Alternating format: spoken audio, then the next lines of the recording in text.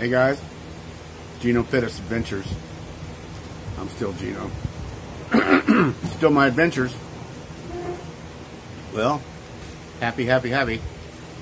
Uh, thought I'd give you a couple of updates on different things that I've covered in different videos. But today I'd like to tell you uh, what's going on in, in San Gil weather-wise. It's, uh,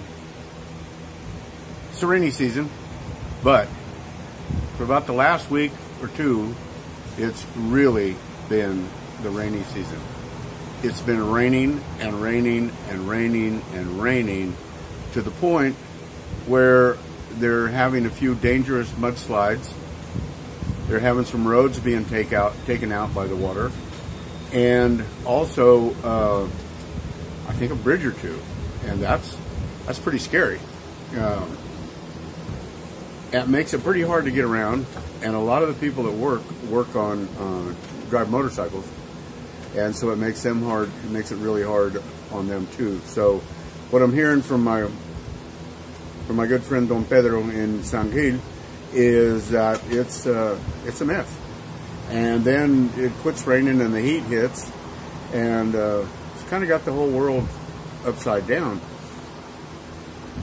But not as bad as here in the in the southwest and the northwest uh, and in northern Mexico, the drought is just is unbelievable. It has uh, about from Mexico City all the way to Seattle, Washington. The nation's dried up, all from California to Oklahoma, Arkansas, uh, Oklahoma finally got some rain. But so it's just it's it's a crazy imbalance. We're here in here here in the northern uh, in North America. It's just an incredible drought, and in the northern part of South America is inundated is inundated with water. Which brings me to the point of some disturbing news that I've been hearing. You know, in, in Colombia, the farmers uh, don't use, they don't have many inputs. Uh, they don't have a lot of fertilizer input, and if it is fertilizer input, they use it from um, organic. And a lot of them use make uh, worm castings by growing worms and and a lot of and a lot of uh, uh, pig poop is used on, on their on their farm. So they're not really reliant on uh, the stuff called urea. And urea is pretty much nitrogen. Um, it's a petrochemical that works really well uh, as a nitrogen as nitrogen goes.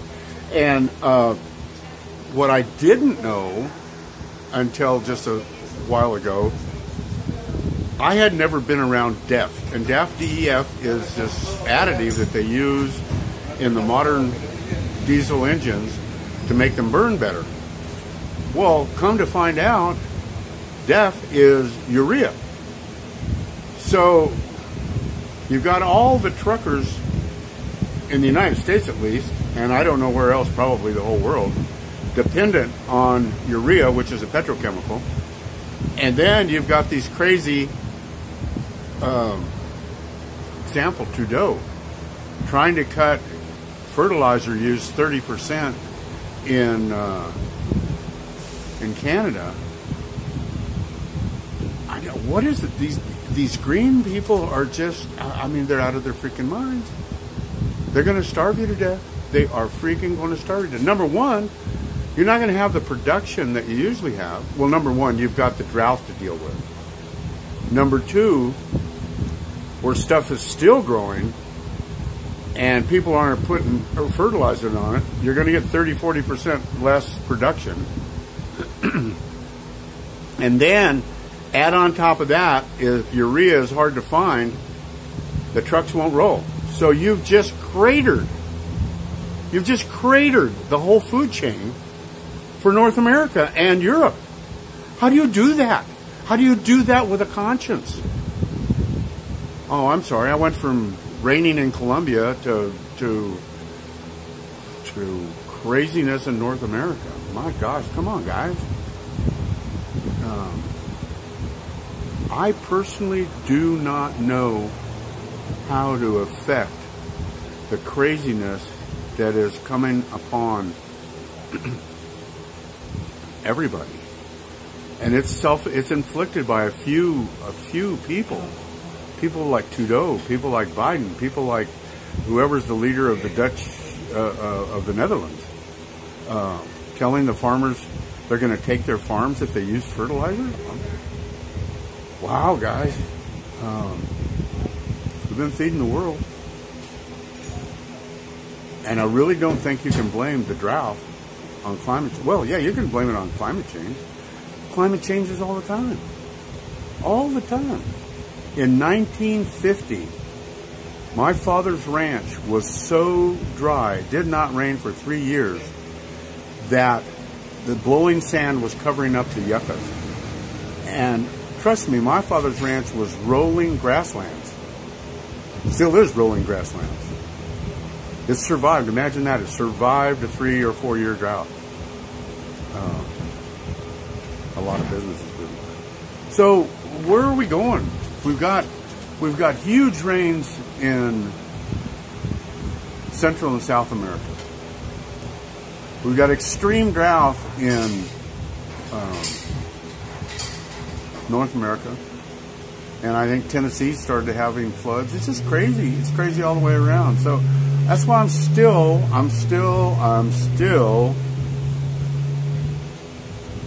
hyped on, on Colombia. Because in Colombia, you don't need irrigation. You don't need an irrigation pump. It's going to rain. Uh, fertilizer, you can make organic fertilizer, and they can make petrochemical fertilizer. Uh, going to be a lot of hungry people if our leaders take away the production of North America and Canada in the wheat fields and the in, uh, the grain oils and all that stuff. It's it, it's going to be really ugly. But there's going to be pockets like like South America is, is a jewel. it's still raining. It's still good. Uh, people are still eating. People are still working. Southern Mexico's the same. Northern Mexico's in trouble. Southern, eastern, uh, south, southwest, northwest United States, all the way to the Mississippi's in trouble. So this kind of went from way too much rain in, in Colombia to way too much drought here in the States to what are leaders thinking? Oh, let's just, in the middle of a drought, when it's hard enough to produce anything, let's just, let's just cut off the fertilizer so we can't produce anything. Do you guys get that part? Does anybody get what the hell is going on here? It's straight up evil. Straight up evil. Oh my God. I I, uh, I struggle daily to try not to put these rants on because that's not about this is rant isn't about Colombia, but it is. Colombia will be a place where you can sit on your half a hectare, your an acre, half an acre, and grow enough to feed four or five families, or ten, or twenty if you do it right. And uh, well, we used to grow a lot of stuff in, in uh, southeast New Mexico, uh, West Texas, southern Colorado. The Rio Grande is dry. The Rio Grande River is dry. Don't believe me. Research it.